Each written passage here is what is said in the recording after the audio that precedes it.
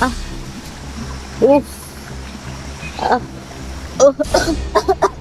দোষ দেখ মেয়েটা মনে হয় অসুস্থ। আরে বাদ দিত দোষ রাস্তাঘাটে এসব হয়ে থাকে। আরে বাদ দিব মানে রাস্তায় একাই এভাবে একটা মেয়ে ফেলে রেখে চলে যাব? আমার মনে হয় কাব্য ঠিক কথাই বলতেছে। আরে চুপ তোরা আমার বন্ধু হয়ে এত স্বার্থপর চল সাহায্য করি। আপু আপনি অসুস্থ? আরে তোরা দেখতে পাচ্ছিস না পানি যাচ্ছে। যা যা পানি নিয়ে আয় তাড়াতাড়ি।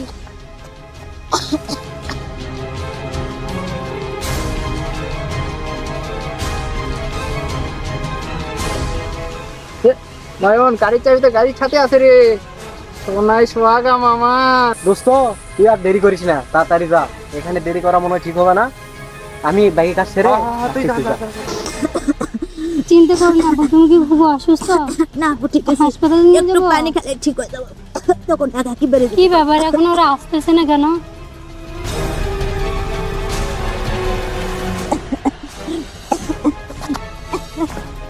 এই আমার ব্যাগ ব্যাগ।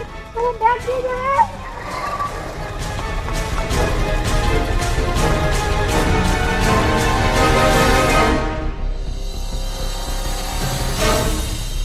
চোর চোর চোর আমার ব্যাগ নিয়ে গেল।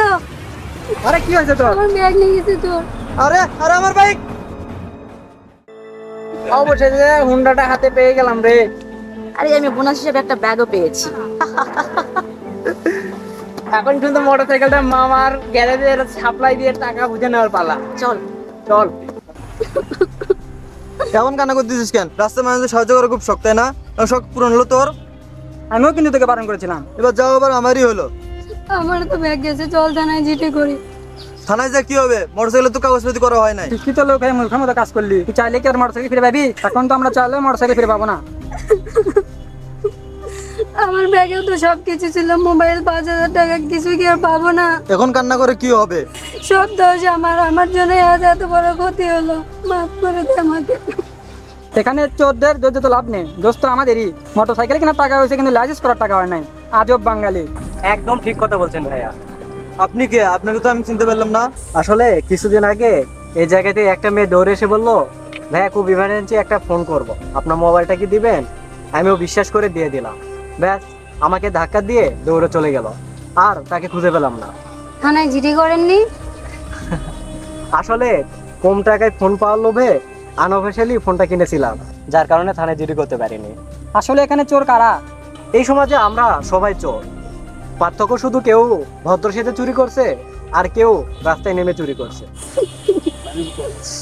এই নিন পানি পান করুন, মাথা ঠান্ডা করে একটা চিন্তা ভাবনা করলে অবশ্যই মোটরসাইকেল ফিরে পাওয়ার বুদ্ধি মাথায় আসবে। ধন্যবাদ ভাই, এখন পানিরই দরকার ছিল।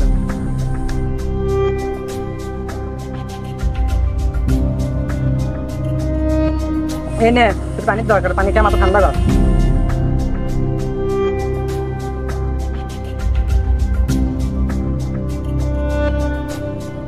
আরে দোস্ত, কাম তো সারছি।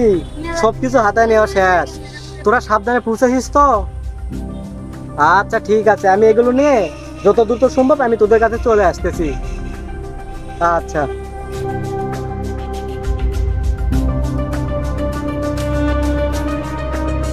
অনেক দিন ধরে কামাই কাজে কিছু নাই। কিছু একটা ব্যবস্থা কর।